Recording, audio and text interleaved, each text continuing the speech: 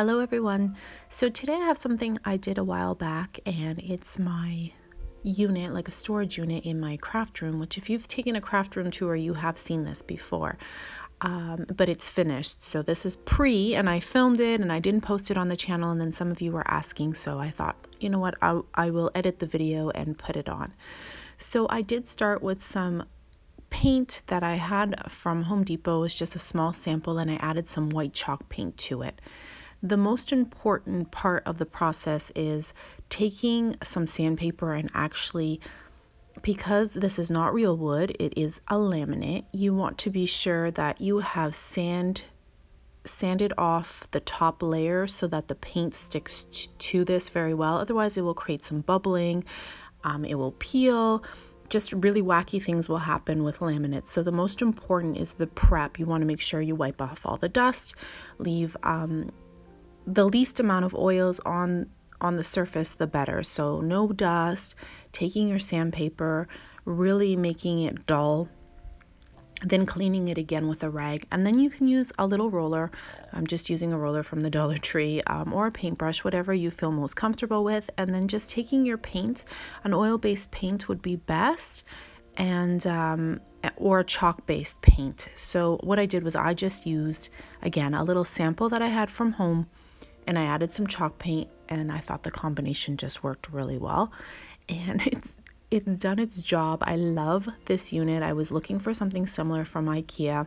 I just couldn't um, justify spending that kind of money. So I thought, you know what, I'm going to repurpose and upcycle a piece of older furniture. And it worked out really well. So you'll see the process a little bit closer once I film down below. Um, you'll see that I was sand sanding off all of the the wood. I painted the interior. Again, if you have something like this, no one sees the interior but yourself, then you can skip this. I just wanted everything to be the same color. So you can take the doors off the hinges and remove things.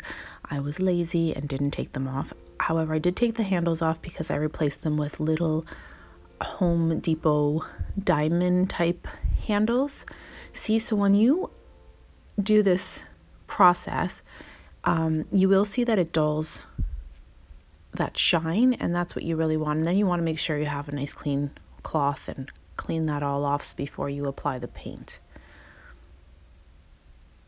and it works so perfectly. So yeah, I put the little diamond handles in and I did keep the other pieces as, you know, ephemera for future craft.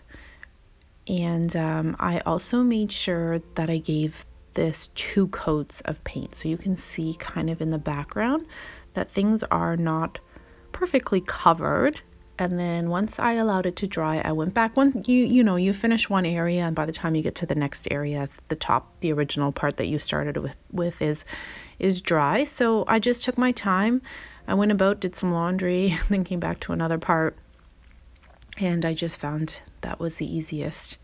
So I did get in there afterwards with a paintbrush and finished off any areas. But you see here, um, once you apply the second coat, then it is super solid covered in, in this white paint that I have, which matches the rest of my furniture in my craft room. Most of my stuff is like IKEA based. I do have a wood desk for my work desk, but then my craft desk is from IKEA. And this is the finished product.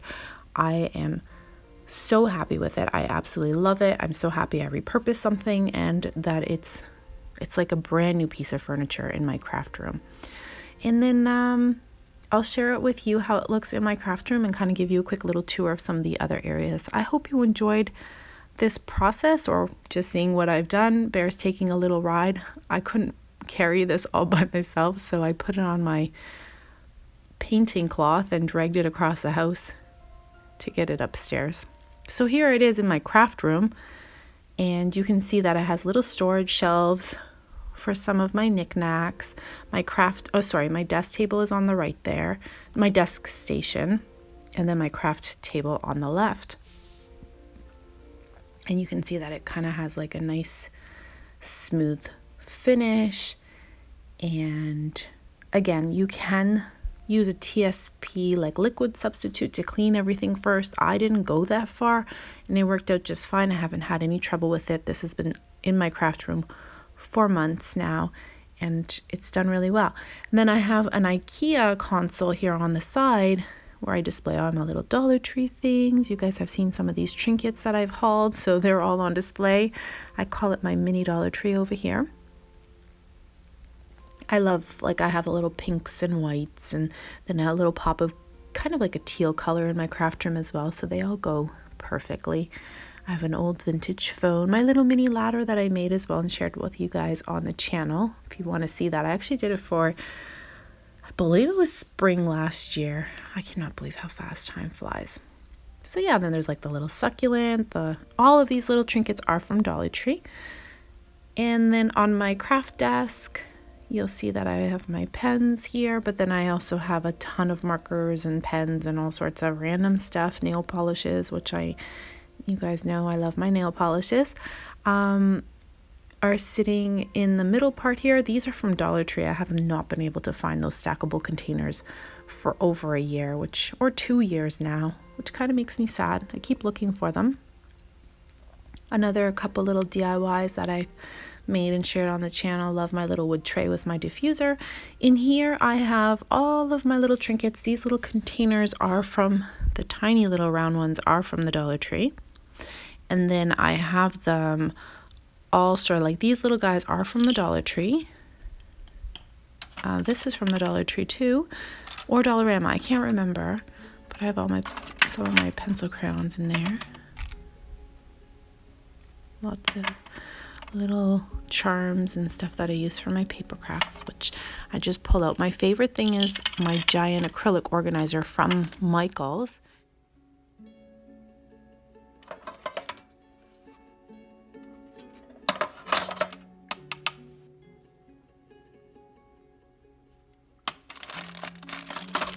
These are from Dollar Tree, and I just bought them because I was afraid they were going to discontinue with them, and then they didn't. So these organizers are from Michaels, and there's three drawers, and then I just filled them up with all of the little loose bits and pieces like this. And I like that you can see everything. That's super key for me when it comes to crafting is being able to quickly open something and viewing and seeing exactly what's there so that I could just grab it, walk back to my craft table, put things back where they belong. Love this organizer. And again, the main drawers are from Michaels because they're really large. They're supposed to, they're rows for washi tape, but I use them like this. And then on this side is just my workstation. And again, to the left kind of sits in the middle. This is exactly how I had envisioned having that bookshelf there. And then in the bottom, I store a ton of Dollar Tree DIY products. So that's what's hiding in there because that always gets messy. It's hard to kind of keep random stuff organized. So that's where I keep all of my junk. And then you'll see here, I have my, this is actually a dining room table from IKEA. I'll find it and then I'll link it here for you guys just so you have an idea. It's super wide and super long and it actually uh, closes shorter if you wanted to make it smaller. And then there's my IKEA side hutch. I forgot to share with you, these ones are from Dollar Tree. Some of them are glued together with E6000 and some of them are not. I obviously got lazy and didn't finish that DIY. they are supposed to be all glued together. See, these ones are still loose. I got to put these back together. Or I originally have to put them together. And I flip them all upside down so then the drawers don't ever get stuck. They slide in and out super easily.